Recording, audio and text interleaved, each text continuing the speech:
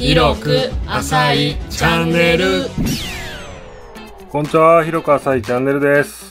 今回はですね、新型のワイヤレスイヤホンをサクッと紹介させていただきます。第2弾になりますね。こちらのサウンドピーツの新商品、サウンドピーツミニプロ HS。これを紹介させていただきましたので、今回はこういうカナル型ではなく、インナーイヤー型のサウンドピーツエアー3デラックスを紹介させていただきます。パッケージはこちらになりますね。こちらも新しい商品です。インナーイヤー型として、世界初のハイレゾ認定、これを受けております。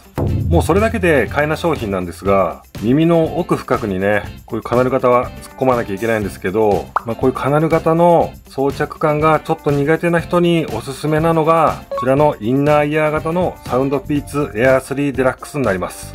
それではサクッと開封して中身見ていきましょう。はい、付属品はこんな感じです。充電用のケース、充電用のタイプ A to C ケーブル、取扱説明書、もちろん日本語対応です。はい、中身はこれしか入ってないですね。インナーイヤー型なので、こういうね、イヤーチップが付いてないんですよね。これもシンプルでいいですね。では中身も見てみましょう。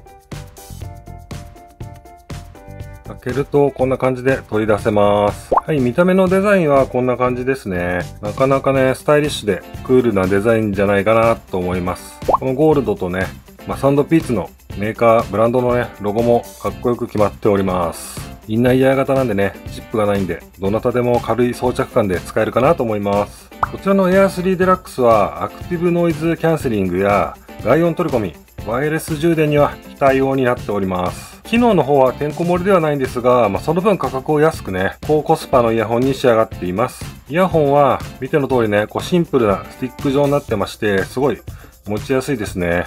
でもこう角がね、結構エッジが立ってて、かっこいいんですよね。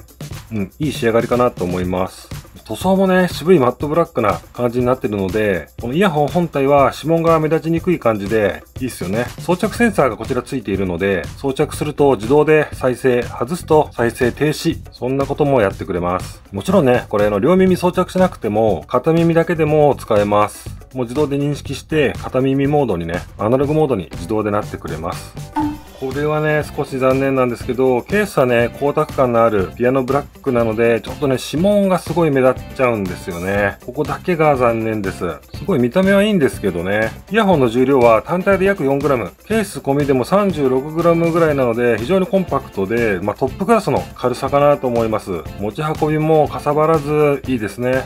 安心してください。こちらの充電はもちろん、はい、USB-C になっております。ケーブルも付属しているので嬉しいですね。こちらのバッテリーは単体で約5時間、ケース込みで21時間の性能を持っていますので、まあ普通かなと思いますけど、決して短くはないので必要十分だと思います。残念ながらね、このケースの方、ワイヤレス充電には対応していないので、まあそこはね、価格を考えると、まあ致し方ないのかなと思います。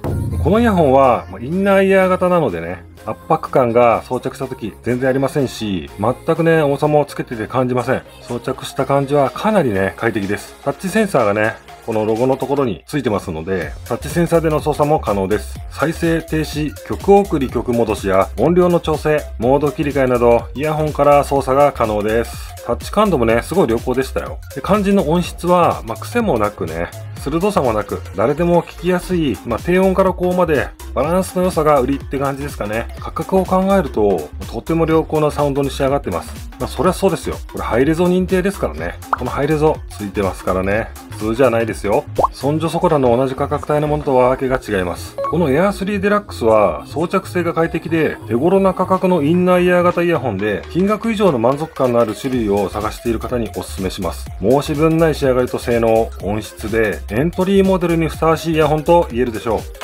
こういうね、カナル型の圧迫感。それがね、嫌いな人には、ぜひね、試していただきたいモデルになります。このプニプニね、パッと耳にギューッとこう圧迫されるのが嫌いな人いっぱいいますよね。僕もどっちかっていうと、このインナーイヤー型の方がすごい好きですね、つけた感じは。はい。こちらの商品気になりましたら、Amazon のリンク概要欄に貼っておきますので、ぜひチェックして買ってみてください。かなりね、今ね、安く買えると思います。はい、今回はサクッと紹介なので以上になります。このイヤホンの雰囲気、掴んでいただけましたらありがたいです。このチャンネルではジャンルを特定せず、車関係が多くはなりますが、バイク、アクアリウム、ガジェット、ペット、ゲームなど、ひたすらかっこよくおしゃれと信じている僕の趣味の世界を広く浅く紹介発信しています。ほんの少しでも共通の趣味だったり、興味を持っていただけましたら、チャンネル登録で応援いただけますとめっちゃ嬉しいです。いろんなことやってるので、趣味を探している人は新しい趣味を始めるきっかけになるかもしれません。それではまた別の動画でお会いしましょう。最後までありがとうございました。さようなら。